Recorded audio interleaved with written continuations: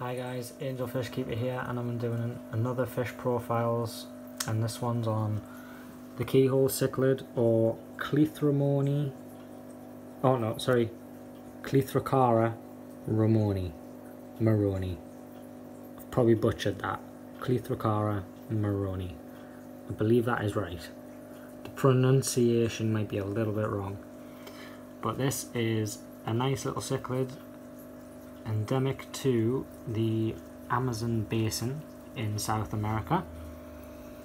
Uh, so basically the entire of Brazil really is this little guy's distribution. It's a nice little cichlid, only getting to around 4 inches, which is 10 centimetres I believe.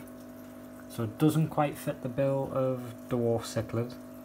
I would class dwarf cichlids 3 inches and under that's where my range is with dwarf cichlids. Anything bigger I would just class as a small cichlid, which is these guys.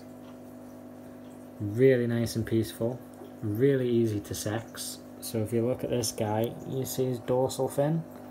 He has really long streamers on his anal fin and dorsal fin, indicating that that is a male. And if I can spot the other one, really short streamers even though now she's gone and hid. In and the dorsal fin actually ends in a slight curve indicating that is a female. So it is a male and female pair.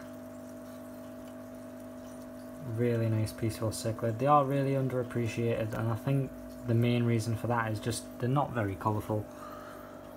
They're more of like a cream brown and then obviously they've got the curved black line going through the eye and then the keyhole shape in the middle which gives them the name keyhole cichlid.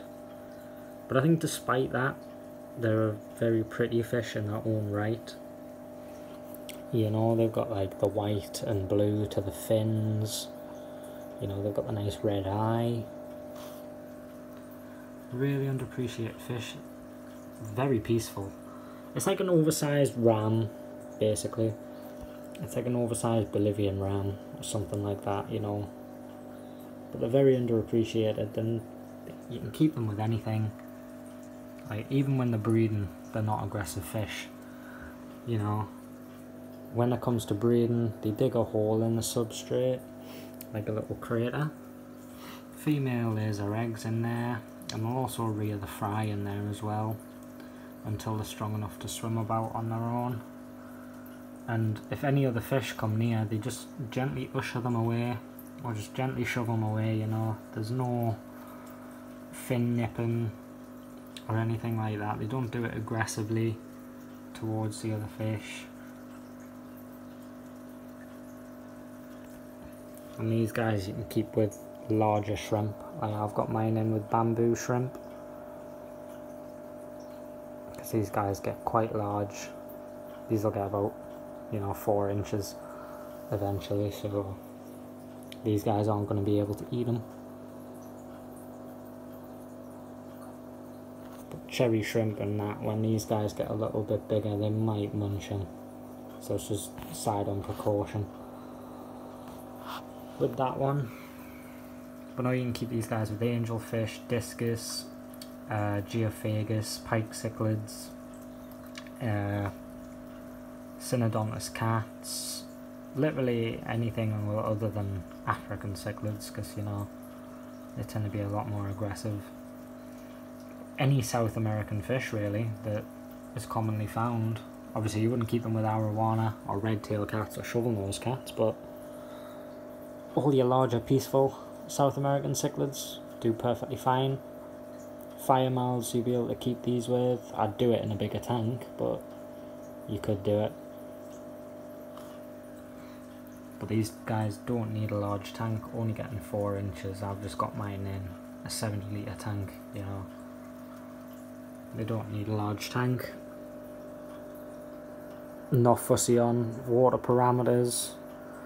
pH from 7.5, uh, sorry, from 6.5 to 7.5. Could even go up to 8 for these guys. And you could go all the way down to 6 if you really wanted to. You just got to be careful when you've got your pH that low because of the bacteria. when your pH is that acidic, it's very easy for your tank to crash, which is a bad thing. So I would try and keep it neutral, about 7, 7.2 for these guys is where you want it. Temperature 26 all the way to 30 if you're keeping them with discus they will tolerate that. I keep mine at 28 so it's kind of bang in the middle of that. They're being very timid at the minute. They're not normally not this timid. They're not a shy fish. It's just I'm doing water changes on all my tanks. So they're next.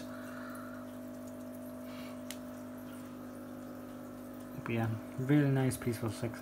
They're dirt cheap as well. So you can pick them up for next to nothing. I really don't know why there's not more of them. You know, they're really underappreciated. Little cichlids. But yeah, basically just an update, not an update, a fish profile on the keyhole cichlid. If you want any more information on them, or like a more in-depth video on how to actually keep them, just let me know in the comments and I will do that. And if I've missed anything that you think I should have mentioned, because I probably have, you know, there's a lot of things to list off you know, off the top of your head. So I've probably missed one or two things, but if I have, just leave them in the comments. Thanks for watching. Please like, comment and subscribe. Bye.